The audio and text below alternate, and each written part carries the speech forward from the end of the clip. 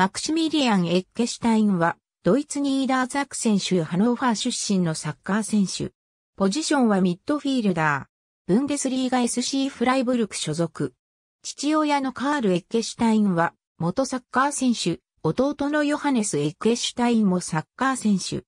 4歳の時、ハノーファーの近郊にある TSV シュロース・リックリンゲンでサッカーを始めた。7から8歳の時に父親の所属する TSV ハーフエルゼに加入し、2011年にベルダーブレーメンの育成組織に加入した。2014年にベルダーブレーメン2に昇格すると、同年8月1日に行われたレギオナルリーガのアイントラハとブラウンシュバイク通戦でデビューした。2014年にトップチーム昇格を果たすと、同年11月29日に行われた SC、パーダーボルン07戦で83分に交代で、ピッチに立ち、ブンデスリーガデビューを飾った。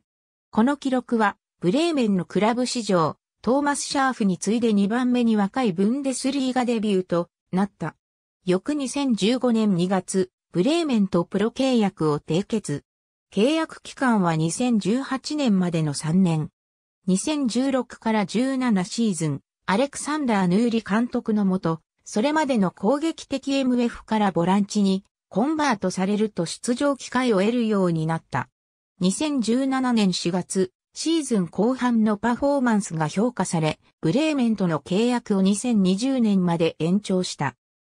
2017から18シーズンには、フィリップ・バルグフレーデと定位置を争ったヌーリの後任として、ユース時代に指導を受けたフロリアン・コーフェルトが監督に就任すると、コーフェルトの下でも好調さを維持し、2019年4月には弟のヨハネスと共にブレーメンとの契約延長に合意した。2021年8月18日、SC フライブルクへの移籍が発表された。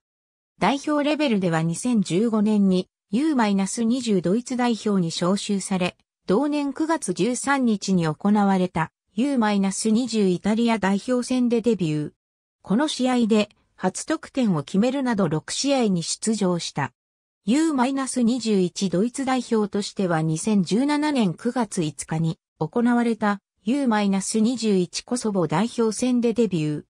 2019年6月にイタリアとサンマリノで開催された UEFA U-21 欧州選手権2019の代表メンバーに招集され、決勝の U-21 スペイン代表戦に出場するなど16試合に出場した。また、同年3月にはドイツ代表に初招集された。ありがとうございます。